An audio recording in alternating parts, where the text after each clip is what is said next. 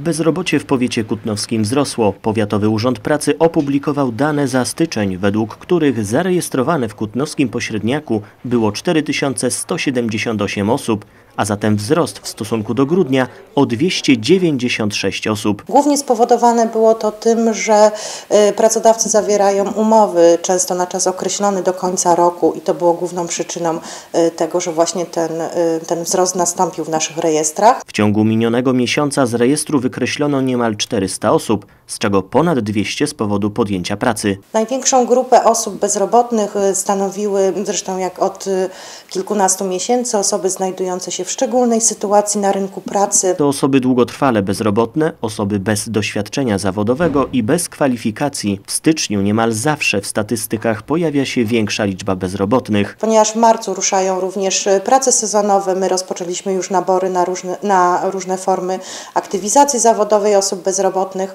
Y, Także myślę, że y, stopniowo będziemy odnotowywać po raz kolejny spadek bezrobocia. Stopa bezrobocia w styczniu w powiecie kutnowskim wyniosła ponad 9%, w województwie łódzkim i w kraju ponad 6%.